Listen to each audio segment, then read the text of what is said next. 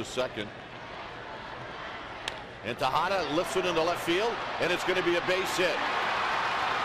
Ross read it all the way. He's going to come in to score, and the Giants lead five to two. Well, that's the run they've been looking for. The one that adds on late in the ball game, and it comes in a two-strike, three-two pitch.